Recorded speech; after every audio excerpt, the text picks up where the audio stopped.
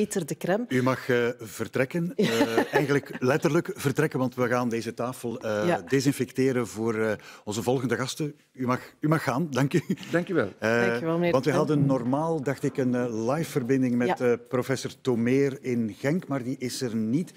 Dus is het nu de bedoeling dat we er Mark ja. van Ranst bij halen? viroloog. Komt u, uh, ja. komt u maar uh, U kent het hier intussen, hè, meneer Van Rans. En u ook, mag uh, tegenover Lieve gaan zitten. Ja, en ook Philippe de Bakker, minister die de taskforce leidt, die ons de mondmaskers, de medicamenten en de testen moet bezorgen.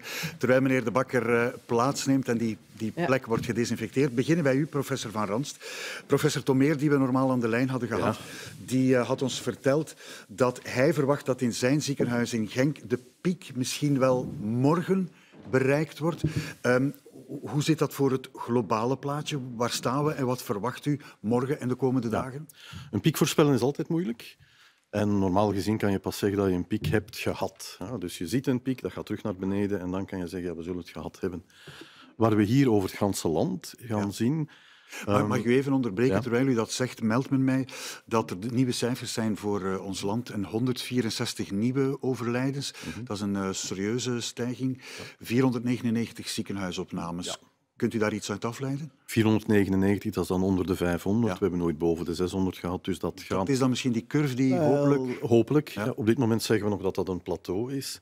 En natuurlijk, dat plateau dat wordt gemaakt door heel wat verschillende curvetjes in verschillende ja. ziekenhuizen en, uh, en woonzorgcentra. Ja, want vandaar ook sorry, dat we iemand van Limburg... Ja. Hopelijk komt dat nog in orde. Waarom is Limburg zo zwaar getroffen? We zagen ook die, die Pano-reportage deze week. Ja, er zijn een aantal, een aantal redenen voor, denken we.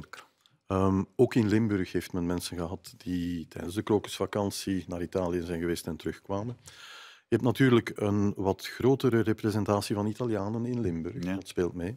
Limburg is de, ja, als gaat dat niet graag horen, maar de plaats waar carnaval het, uh, het meest populair is. Ja. En dan hebben die mensen van Duitsland en Nederland die daar samen komen vieren. Meneer, meneer, De Bakker, heel concreet, we zagen gisteren en overigens ook al eergisteren in Belang van Limburg, ja, 13 van de 44 pagina's, denk dat we die in beeld gaan krijgen, die zijn gewoon ingenomen door overlijdensberichten. Dat maakt de cijfers wel heel ja. menselijk en concreet. Hè?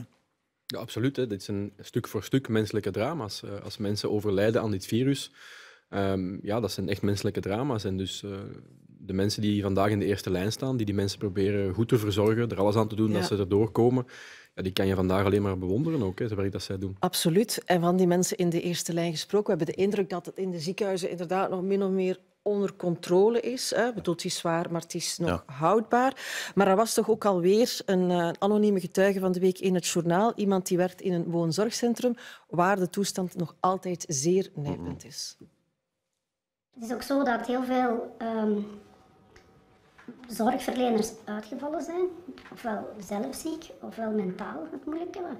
Waardoor uh, animatoren, ergotherapeuten, kinesitherapeuten ook ingeschakeld worden in de zorg ook die mensen zijn er niet gewoon van dat te doen. Ik hoorde een arts een aantal weken zeggen van voor die patiënt moet, moet je dan masker gebruiken. En een aantal zorgkundigen kijken van oeh, is dit dan niet? Is dit het masker dat ik nu op? Is dat dan niet? Nee, je hebt eigenlijk een hogere bescherming nodig. Ja, professor Van Rans, dat blijft een probleem, hè, die woonzorgcentra. Dat blijft een, een, een heel groot probleem. En dit is het Waarom resultaat... krijgen we dit niet onder controle? Maar dit is het resultaat van decennia lang te weinig geld steken in die sector. Um, we hebben ook heel veel van die zorgcentra, van die woonzorgcentra. En, um, en de kwaliteit ervan varieert soms naar, naar zorgen die zij kunnen bieden. En elk van die woonzorgcentra is vaak te klein om een kwaliteitscoördinator te hebben of, of dingen die, die kwaliteit kunnen verbeteren daar. Maar wanneer die in een grotere groep zouden samenwerken, dan, uh, dan ja. kan dat vaak wel. Is dat meteen een vraag ook aan de Vlaamse regering? Van draai die besparingen terug? Daarop besparen kan je eigenlijk niet, niet doen. Um, dit moeten we beter kunnen doen. Ja. Ja. We moeten ook zorgen dat we nu naar de woonzorgcentra, dat we daar um, een aantal, al was het maar geneeskundestudenten naartoe kunnen krijgen mm. om te helpen. Ja. ja. Dat we verpleegkundigen kunnen naartoe krijgen die nu in de ziekenhuizen soms op sommige plaatsen wat weinig werk hebben. We moeten dat versterken nu, maar dat is maar om, uh, om nu de nood te ledigen. Een diepgaande analyse van die sector is nodig hier daarna. Ja. Uh, ik ga eerst, we gaan eerst zo meteen naar Genk, maar ik heb toch nog eerst één vraag ook nog voor u, meneer De Bakker. Die woonzorgcentra, dat is al drie, vier weken het knelpunt. Ook qua kledij, alles erop en eraan. Komt dat eindelijk in orde voor die mensen? Bedoel, we starten aan week vier en ik hoor die nog altijd vragen naar die mondmaskers. Die vragen die blijven komen. Er zijn eigenlijk twee dingen dat we nu toch uh, naar de woonzorgcentra kunnen doen. Eén, uh, we hebben de testcapaciteit enorm opgedreven. En ik heb daar ook gezegd, de prioriteit moet nu ook zijn die woonzorgcentra. Zodat we op zijn minst weten uh, welke mensen Dat wordt dan deze week uitgerold? Ja, dus vanaf dinsdag beginnen we daarmee. ik had het graag iets vroeger gehad, maar we zijn nu dinsdag hebben we alles klaar om dat dus te doen. Er worden dus kits, ook met beschermend materiaal, naar de rusthuizen gestuurd. Daar zal de coördinatiearts dan de stalen nemen, bezorgen. En dan heb je binnen de 48 uur resultaten van. Dus dan weten we waar zijn er besmettingen. Zowel bij de bewoners als een stukje van het personeel. En de kledij, want dat en dan ga je verder kunnen testen. Maar dan ga je verder kunnen testen en ga je ook de, de materialen die nodig zijn om iemand die covid-positief is te omringen, ook kunnen richten naar de rusthuizen waar er echt zware infectiehaarden zijn. Want het is een heel kwetsbare uh, bevolkingsgroep. Ja. En dus de materialen zelf uh, zijn we nu op dit moment alles aan het doen om zoveel mogelijk van die materialen in België te krijgen. Hè. Um, we hebben de afgelopen tien dagen ongeveer um, ja, 22 miljoen chirurgische maskers binnengekregen, 1,3 miljoen FFP2. Worden er wel vaak teruggestuurd? Nee, de meeste worden goedgekeurd. En dat is dus wel, allee, dat wil ik toch even benadrukken, dat rond die maskers hebben we nu ook wel een procedure in plaats die één ervoor zorgt dat voordat wij bestellen een veel strengere check doen. Ik heb daar twee weken geleden toen bij begonnen direct werk van gemaakt. En twee, op het moment dat ze aankomen, worden ze nu nog eens getest in ja. Belgische labos. En dan worden ze geclassificeerd. waren er die 7 miljoen van Luiken die ook onmiddellijk... Uh... Die zijn nu nog in test. Ja, die, die, zijn, zijn, nog, die zijn nog in test. En dus daar zijn we aan het kijken. Als die dus goed zijn en dus effectief uh, eh, FFP2 zijn, komen ze op de markt als FFP2.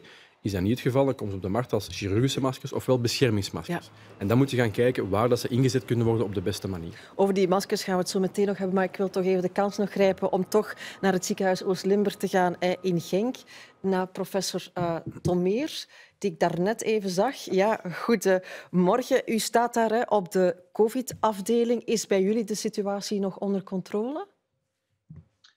Ja, momenteel wel. Um, we hebben momenteel 115 patiënten opgenomen, um, waarvan 35 op intensieve zorgen. We hebben eigenlijk uh, drie COVID-afdelingen, uh, waar momenteel 83 patiënten opgenomen zijn. Dus en daar hebben we nog ongeveer uh, ja, 25% marge. Ja. Het probleem is wel voor intensieve zorgen daar zit het water wel niet aan de lippen, maar aan de schouders. Uh, uh, daar hebben we momenteel 35 patiënten liggen. Uh, het probleem is niet toestellen of bedden, maar is vooral personeel, gekwalificeerd personeel die daar kan werken. Is dat ook te maken met het feit dat er personeel uitvalt? Nee, in ons ziekenhuis kan ik dat niet zeggen. Eh, dat volgen wij heel stipt op. Momenteel zijn er twee mensen ziek door corona en dat, die zijn niet ziek geworden binnen ons huis, maar die zijn uh, ja, door een extern contact eigenlijk ziek geworden. Ja. En hebt u er zicht op... Ja, hebt u er zicht op dat u binnenkort meer mensen zal kunnen hebben om u te helpen? Verplegers, artsen? Ja, artsen is geen probleem. Um, we zijn een team met acht longartsen en daarnaast hebben we nog vier cardiologen, twee nefrologen, drie endocrinologen, twee dus en we zitten in die ploeg. Dus dat gaat goed. Verpleegkundigen, je moet zeggen, zo één zo'n COVID-afdeling heb je ongeveer ja, 50 verpleegkundigen nodig. En we hebben er vier. Uh, en dat is echt onze marge om het goed eigenlijk te kunnen doen. Uh, ja. Het is echt zwaar werk. Uh, ja, en ik neem aan, aangezien heel Limburg zo zwaar getroffen is, dat u ook niet zomaar onderling, ziekenhuizen onderling kunt elkaar helpen, dat iedereen daar zijn grote nood aan verplegers kent. Ja, we hebben een beetje het geluk gehad. De mensen van Hasselt en Sint-Truiden hebben eigenlijk de eerste golf gehad. Wij zijn iets later gekomen, dus we hebben dat iets meer kunnen, kunnen voorbereiden. Uh, dankzij eigenlijk ja, de ploeg van Mark Verans, Erika Vliegen en Goossens, dat uh, ja, ze hebben ons het tsunami-alarm gegeven hm. en hebben echt één week lang ja, ons ziekenhuis in twee gesplitst. In een hele schone zone en in de vuile zone. Ja. Dat wil zeggen ook niet architecturaal, maar ook we hebben vuile artsen en schone artsen. Ja. Vuile verpleegkundigen en schone verpleegkundigen. Ja, u bent zo'n vuile arts, heb ik begrepen. Um, we hebben het aan het begin van dit gesprek al een beetje weggegeven. We hadden begrepen dat u morgen de piek bij jullie verwacht. Waarom? Ja, ja wel, uh, ja dat is ja, uh, uit de gegevens. Die zit, we, we, zitten nu ongeveer aan de piek. Ehm, we weten, tijdens het weekend hebben we iets minder opnames, maar dan komt er een tweede golf altijd maandag, dinsdag. Dus dat verwachten we nu. Uh, denk en ik hoop dat we het kunnen halen. Ik hoop het absoluut met u, Zeep. Professor Michiel Tomeer, dank u wel. Ja, professor Van Ranst, vier verpleegkundigen waar je 50 nodig hebt. Nee, nee, ik denk dat hij bedoelde, we hebben vier zalen waar we 50 verpleegkundigen nodig hebben. Hmm. Vier verpleegkundigen wanneer je Ja. 50 nodig hebt, ja, dat haal je niet. Maar sowieso ziekenhuis dat heeft tekort, ja, een ziekenhuis dat stilaan aan zijn limieten Absoluut, geraakt. in- in We horen gans ook dat, Limburg, dat, ja. dat in Limburg dus, eh, eh, patiënten naar andere ziekenhuizen verplaatst worden. Loopt dat makkelijk? Is er solidariteit tussen die Ja ziekenhuizen? hoor, en, en dat wordt ook gecoacht door de gezondheidsinspecteurs, die goed eh, een oog in het zeil houden wanneer ziekenhuizen aan 75% van hun bezetting zitten daar op die afdelingen. Dan begint men al naar andere ziekenhuizen Ja. door te schuiven. En dat hoeft niet in dezelfde provincie te zijn. Er zijn ook provincies die minder getroffen zijn, dan Dat kunnen wordt we echt daar elke dag opgevolgd hoor. Dus, Ja. Er is ook binnen de federale overheid mensen echt mee bezig elke Ja. dag twee, drie keer contact te hebben. Ja. En dus als het nodig is, effectief eh, verspreiding organiseren. Ja. Iets wat natuurlijk, we waren er al een beetje aan begonnen aan dat onderwerp, enorm begint te leven, is de mondmaskers Bij de bevolking? bij de bevolking. En de vraag waarom wij er allemaal geen moeten dragen. Er zijn ook burgemeesters die zich daar voluit voor inzetten, zoals onder meer de CD&V-burgemeester Jan Vermeulen uit Deinze, die volgende vraag heeft. We moeten elkaar dus beter beschermen. Dat kan door zelfgemaakte mondmaskers te dragen. Zij houden de droplets tegen. Jouw masker beschermt mij, mijn masker beschermt jou. De redenering van het valse gevoel van veiligheid geldt helaas niet meer. We moeten het geweer van schouder veranderen.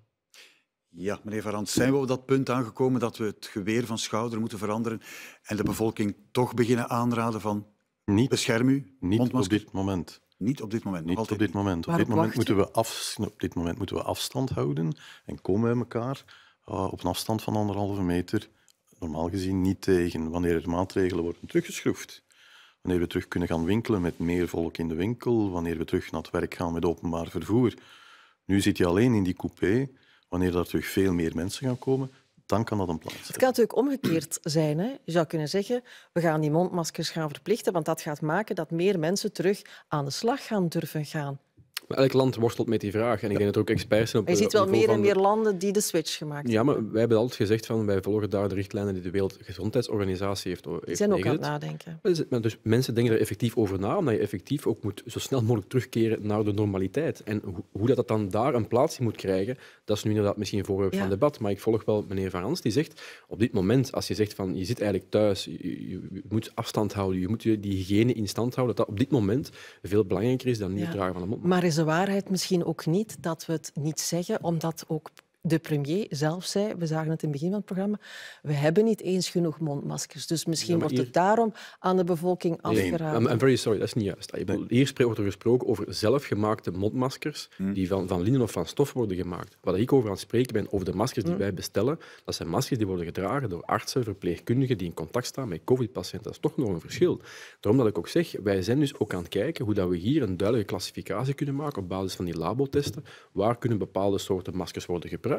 En iets is dan beter dan niets, maar ik ga geen dokters op pad sturen met zelfgemaakte linnen maskers. nee, dat gaan we tuurlijk niet doen. Hè. Maar bent is- toch aan het nadenken om dat toch meer te veralgemenen. Ja, maar nee, maar het is daar de Wereldgezondheidsorganisatie die daar nu over aan het nadenken is. En veel landen kijken daarnaar en we moeten dus nagaan op welke manier, net zoals professor Marans zegt, als je een, een, de quarantainemaatregelen voor een stuk gaat ver- versoepelen, dan moet je kijken hoe dat je eventueel het gebruik van mondmaskers nuttig zou kunnen zijn. En we zitten in een fase van de epidemie waar, waar iedereen zenuwachtig wordt. Ja, dat waar je een opbod krijgt van maatregelen. Ja, zelfs Trump allee, gaat het zelf niet dragen, maar begint het ook al aan te raden. Maar dat is, een zeer, dat is een zeer visibele maatregel. Wanneer je niks kan doen en je hebt te laat geweest, zoals in, eh, in de Verenigde Staten, met maatregelen te treffen, ja, dan ga je zeggen van draag maar mondmaskers. Het is het enige wat je kan doen. Ja, doe maar. Uh, maar maatregelen moeten ook wel zinvol zijn. Want en elke keer op de piek van een epidemie, dan krijg je een opbod. En iedereen die zegt van we gaan nog iets meer doen, die krijgt dan aandacht. Ja, en Maar je zou kunnen dat, zeggen, eh, baat het niet, dan schaadt het niet. Dus wel, jawel. Wanneer, wanneer in elke gemeente men een andere politiek gaat voeren tegenover maskers, dan dat, dat helpt echt ook wel. Ja? Dus je moet proberen daar wel een lijn in te houden. En de lijn van de Wereldgezondheidsorganisatie in die materie, nou, dat is nogal een goede lijn. Ja. Nu, in die zenuwachtigheid is er ook nog altijd vraag naar meer testen. U had het al over de 20.000 voor de woonzorgcentra. U hebt toen u uh, met die taskforce begonnen bent, twee weken geleden uh, beloofd van we gaan naar 10.000 testen per week onder de bevolking. Hoe staat het daar nu mee? Die capaciteit die is er. Dus die, is er nu. die is er, die is er al een paar dagen. Um, het is nu aan de, aan de ziekenhuizen ook. En we hebben daar ook overleg over met de experten om te kijken. Want vandaag testen we patiënten en zorgverleners die symptomen hebben in de ziekenhuizen. Mm heb daar nu ook de woonzorgcentra aan toegevoegd. Daar wordt ook meer eh, getest eh, binnenkort. En dus we nu de die, die, die 20.000 in de woonzorgcentra, maken die deel uit van die 10.000 per week? Of is dat, dat nu worden uitgerold de komende ja. dagen? Ja, maar vandaag nog niet. Het is pas nee, nee, maar dat is wel deel van dus die nu testen we ongeveer 4.000, 4.500 mensen uh, per dag. Uh, we komen van 2000, uh, twee weken geleden. Dus dat is toch een serieuze stijging. Maar de capaciteit om meer te doen is er. Alles staat klaar. De, de staalnamemateriaal, de machines, de laboranten, de labo's. Waar zit alles. het dan nog vast? Wel, dat er een beslissing moet genomen worden. Wie testen we nu in, in, in En dat moet u beslissen op dat moment? Nee, dat, dat, dat, gebeurt door experten. Dat gebeurt door wat men noemt de risk management groep, die zich daarover moet uitspreken. En dus daar zal nu in de komende dagen een duidelijk standpunt moeten worden ingenomen ja. hoe dat die capaciteit wordt ingezet. Dat is natuurlijk de vraag, wie gaan we testen? Hè? Wie het al heeft, wie het vermoedelijk heeft, wie het gehad heeft. Wel, het is duidelijk dat we dat breder en breder gaan kunnen doen. Dat is absoluut de, de bedoeling. Um, iedereen die in het ziekenhuis binnenkomt, dat lijkt mij een goed idee. Woonzorgcentra, gewoon omdat daar de nood heel hoog is om een idee te gaan krijgen. Die dingen gaan, uh, gaan wel degelijk kunnen. Ja. En ook het personeel. Hè. Het personeel ja. zal ook, denk ik... En, ja. en hoe, zit, hoe zit het met medicamenten? Want je hoort van bij apothekers, ook van bij ziekenhuizen, toch wel de opmerking, er beginnen wat tekorten te komen. Waar is er, waar is er tekort aan eigenlijk? Of waar dreigt een tekort? Op dit moment vallen die tekorten mee, maar dat is nooit comfortabel. Ja, en daarom zijn er een hele lijst van, ja. van medicamenten. En welk soort medicamenten waar, zijn dat dan? Wel, dat gaat over de noodzakelijke, de noodzakelijke medicatie die je nodig hebt om op intensives mensen spierverslappers te geven, om, uh, om in hart te kunnen behandelen. Dingen. Eigenlijk essentiële dingen waar je nooit wil, uh, wil zonder vallen, ja. maar waar je ook moet realiseren dat gans de wereld nu deze dingen aankoopt en gebruikt. Wat is uw taak om die te zoeken? Vindt ja. u die ook? Ja, dus we hebben de afgelopen twee weken toch wel wat vooruitgang geboekt. Hè. De, de, nood was echt heel hoog. We hebben nu voldoende stok om de komende twee, drie weken. Dat wordt ook door de ziekenhuizen zelf over gerapporteerd trouwens. Dus we hebben perfect zicht op waar, waar dat er eventueel problemen ontstaan. Er worden ook daar uh, medicamenten doorgegeven als dat nodig zou zijn. Maar dus de stok van de essentiële geneesmiddelen de komende twee weken is, is... Maar we doen natuurlijk wel door. Want je wil, zoals professor zegt, niet zonder vallen. Dus we blijven op de wereldmarkt actief.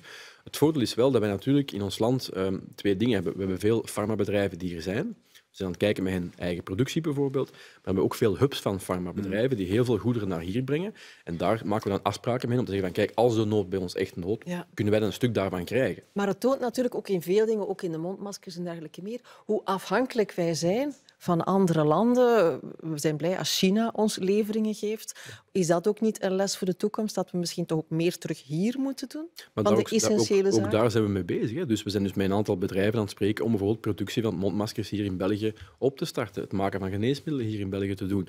Uh, en dat zijn allemaal zaken die natuurlijk tijdens zo'n crisis naar, naar boven komen. Het legt een stuk de zwakheden bloot, maar dan moet je wel reageren. En het punt is, nu zit je in het midden van die crisis. Je kan daar veel over analyseren, maar wij proberen alle mogelijke middelen in te zetten om ervoor te zorgen dat de materialen effectief in België zijn. U zegt het zelf, die crisis legt een aantal zwakheden bloot, wat normaal is. Maar wat ook normaal is, dat er stilaan ook wel kritiek begint te groeien op de hele aanpak. En we hebben eens, professor Van Ranst, een, een aantal uitspraken teruggezocht van niet lang geleden, van zowel u ja. als minister De Blok. In België zijn tot nu toe ook iets meer dan 110 personen getest, waarvan nog altijd eentje uh, maar positief. Er is dus geen reden tot paniek, maar we volgen de situatie natuurlijk constant op. En dat gebeurt ook in de andere lidstaten. Ik denk dat iedereen in de wereld dit met argusogen bekijkt. En zorgen maken is één ding, u voorbereiden moeten we zeker wel doen. Bijvoorbeeld wanneer we geen gevallen hier in ons land hebben, um, nu in de krokusvakantie, binnenkort de paasvakantie, dat zou een meevaller zijn. De mortaliteit van het coronavirus is in dit moment in China is 2%, wat dus eigenlijk minder is dan de mortaliteit bij een seizoensgriep. Uh, wat de mensen op dit moment kunnen doen, is eigenlijk de dingen doen die ze doen om griep te voorkomen. Want we mogen niet vergeten, op dit moment is er de echte griep in ons land en die maakt echte zieken en echte doden. Uh, en uiteraard veel meer dan, uh, dan dit coronavirus op dit moment.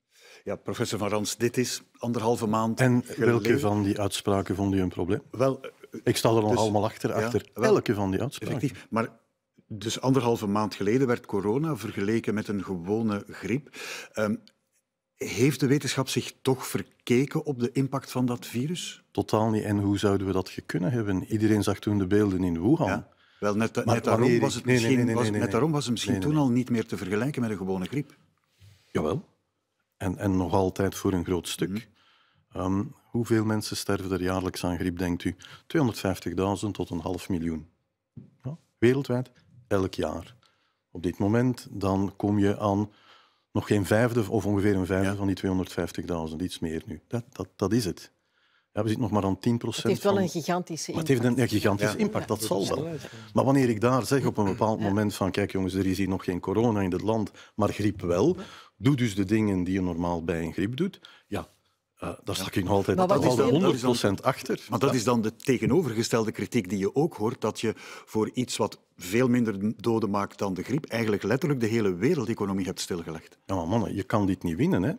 Eh, op, gelijk Ja. welk, op gelijk welk moment, Ja. Hè, op gelijk welk moment gaat er gezegd worden er is te veel gedaan of te weinig. Maar er is geen enkel punt waar men gaat zeggen van ja, dit is nu behoorlijk gemanaged geweest. Dat Want men zegt ook wel eens, die skireizen, dat had men eigenlijk gewoon beter afgeraden. Of die mensen die terugkwamen uit Italië meteen in quarantaine gezet, twee weken. Dan hadden we misschien wat meer de dingen onder controle gehad. Is dat misschien Kunnen achteraf gezien Kunnen we, kunnen we een de analyse, kunnen we de analyse misschien in september maken? Nee, met nee, z'n nee, allen, nee. Om ervoor te zorgen dat Laten we die- laten we om die te kijken... maar het is nu toch mijn gewoon punt, een mijn, vraag, mijn, meneer punt, De mijn punt is heel duidelijk. We zitten nu in het toppunt van de crisis. Ik denk dat we nu echt alles aan moeten doen om ervoor te zorgen dat we de mensen die in eerste lijn staan, die mensen en patiënten aan het behandelen zijn, dat we die goed kunnen omringen. Natuurlijk had je een aantal dingen waarschijnlijk anders kunnen of moeten doen. Maar we zelfs, maar zelfs, maar wel- zelfs maar wil zelfs daar wel daar- op maar zelfs- maar zelfs- antwoorden. ik wil er ook op antwoorden. Dat is volgens mij zelfs, zelfs niet waar. Want ik, denk, ik ben het wel eens met de professor. We hebben een aantal stappen gezet. En ook in het buitenland heeft men heel duidelijk gezegd dat België eigenlijk zeer goed aan de voorbereiding heeft gedaan. Maar we mogen ons toch afvragen of die strategische voorraad mondmaskers Oh, oh, niet wacht, had moeten wacht. aangevuld zijn. Meneer Eerst. Italië. Dat is iets anders. Daar, eh, daar, daar moeten we toch nog op antwoorden. Op het moment dat Italië dat er daar iets begon te bewegen, dan waren onze skiers net vertrokken. Daar kon je niks aan doen. Op het moment dat die terug gingen komen, dan was het nog altijd Milaan en onder Milaan. En in de skigebieden was geen enkel geval te vinden. Je had op dat moment geen enkele reden om te zeggen die mogen niet terugkomen of die moeten op dat moment in Misschien quarantaine. extra voorzichtigheid en zeggen we nemen geen enkel En risico. hoe had, je dat nu kunnen, hoe had je dat nu kunnen doen? Kan je de kritiek toen voorstellen? Moest je dat hebben gedaan? Politiek was dat gewoon niet haalbaar. Ja? Dus die analyses die mogen nu al gemaakt worden. Dat is geen enkel En, en de vraag naar al dan niet nog vertrouwen geven aan minister De Blok, die vooral in Franstalig België heel hard gesteld wordt, mogen- mag die ook niet gesteld worden? Nog eens, je mocht van mij elke vraag stellen, maar ik zal ook op elke vraag beantwoorden. Ik heb Maggie de afgelopen weken hard zien werken. Beslissingen zien nemen samen met de ziekenhuizen om bijvoorbeeld de, de capaciteit op intensieve zorgen te vergroten, om strategische stoks aan te leggen van medicijnen. Allee, dat is allemaal gebeurd. Hè. Eh, en en allee, ik help haar daar heel graag bij om ervoor te zorgen dat effectief die testingstrategie naar voren is kunnen geschoven worden. Allee, ik word vaak vergeleken met Duitsland bijvoorbeeld. We hebben dezelfde testcurve gedaan, evenveel testen als Duitsland de afgelopen Bent u dan weken. ook lastig op uw ja, coalitiepartners of toch hè, gedoogsteunpartners in het parlement, of hoe moet ik ze allemaal gaan noemen, hè, die wel die kritiek meer en meer uiten? Zegt u dan van ja, we staan samen voor de volmachten aan corona, maar in de krant lezen dan eigenlijk ondertussen wel commentaar op onze Ja, ik lees, en ik lees niet veel kranten meer, want ik heb er niet veel tijd voor. Ik ben met andere dingen bezig op dit moment. En dat is, mijn, dat is de essentie van wat ik nu aan het doen ben. En veel mensen vandaag in de politiek aan het doen zijn, op alle beleidsniveaus. We proberen samen te werken om die crisis zo goed mogelijk te managen, om de mensen in eerste lijn zo goed mogelijk te ondersteunen en om er ook voor te zorgen dat je effectief zo snel mogelijk terug kunt keren naar die normaliteit. Dat is voor mij de essentiële waar laten we dat nu aan toe doen zijn. Inderdaad, hopen. Heren, dank je wel. Dank wel.